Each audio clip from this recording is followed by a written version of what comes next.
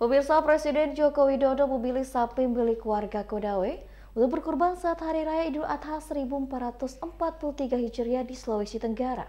Sapi jenis metal ini memiliki berat kurang lebih satu ton, dibeli dengan harga 110 juta rupiah. Inilah si upah sapi jantan jenis simental dengan berat satu ton milik Ade Arianto warga Kelurahan Arombu, Kecamatan Unaaha, Kabupaten Konawe, yang menjadi pilihan Presiden Joko Widodo untuk hewan kurban di Sulawesi Tenggara. Tak main-main, Presiden Jokowi membeli sapi berusia 3 tahun 8 bulan ini dengan harga 110 juta rupiah. Ade rutin memberikan suntikan vitamin khusus hewan dan buah pisang sebagai pendamping pakan utama rumput pada sapi ini.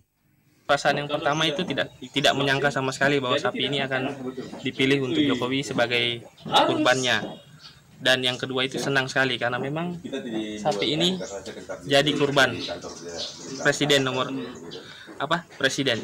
Memastikan kondisi sapi sehat, Biro Kesejahteraan Masyarakat Pemerintah Provinsi atau Pemprov Sultra rutin mendatangi kandang sapi ini. Sebelum dibeli, sapi ini sudah diperiksa dan diseleksi oleh Dinas Peternakan Sulawesi Tenggara.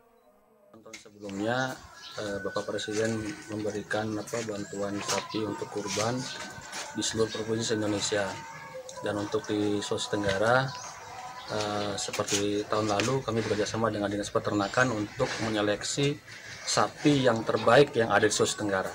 Yang terbaik dan yang terberat di Sulawesi Tenggara. Dan proses itu sudah dilakukan oleh Dinas Peternakan. Dan ini adalah hasil dari uh, proses yang dilaksanakan oleh Dinas Peternakan. Rencananya sapi tersebut akan diberangkatkan pada 6 Juni nanti ke lokasi kurban yang telah ditentukan Pemprov Sultra di Kecamatan Pasar Wajo, Kabupaten Buton. Dari Konawe, Februari Tameng, iNews melaporkan.